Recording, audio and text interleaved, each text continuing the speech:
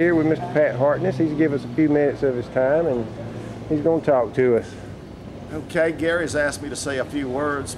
Triple Trees in its 30th anniversary. It's Thursday afternoon and we're midway through. We've had a little rain this week, but I don't think it's dampened many people's spirits. But it's been a fun time. Triple Tree now is in a foundation. The foundation means that when I conk out Triple Tree with our board of directors, we'll continue to go on and we look forward to keeping the youth and, and everyone who's learned to love to come here to spend a week and have a good time. The aircraft that you see right over my uh, right shoulder is an extra 330. When I turned 70 years of age, I felt like I needed uh, to give me this for my birthday. So here it is. It's a beautiful little airplane. It has a it has a Lockheed 580 cubic engine engine in it and it's very powerful, but it won't do what our models will do. It won't stand on its tail, you can't dip it in the lake. And if we could, I would be the last person on earth to do it. I try to fly this very conservatively and have a good time, and I do take passengers up, and it's quite a ride. And it's it's powerful and a lot of fun. But come to Triple Tree if you've never been here. We'd like for you to experience the airplane extravaganza of your lifetime please come. Are you running close to the same setup that Matt Chapman's running?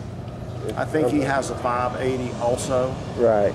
And he's probably a lot lighter than we are with the extra 330. The 330 was put together with a nice um, interior of leather. It has avionics so you can fly it anywhere in the United States.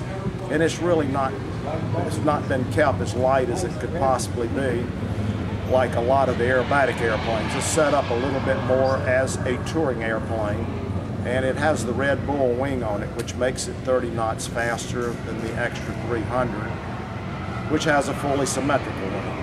What's the top speed of the plane in level flight? It's redlined at 225 knots. That's 250 miles an hour.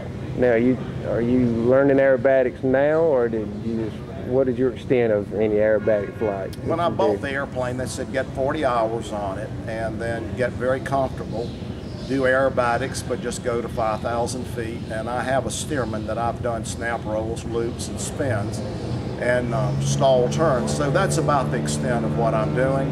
And I go to 5,000 feet, but I am going to take some lessons, not for low level flying, but just to understand more of the aerodynamics of the extra 330 it is a 10 plus G airplane, positive and negative. negative. It has smoke, it has the fuel injected engine with inverted system. So it's ready to go. And when the man delivered it from down in Florida, guy named Doug Veda, he put quite an air show on here and I'm impressed with his capability, but I'm not trying to exploit what its potential is until I'm ready. And then at that point, it's my touring airplane. It's not aerobatic for me. All right. Well, thank you for your time, Pat. Yes, sir.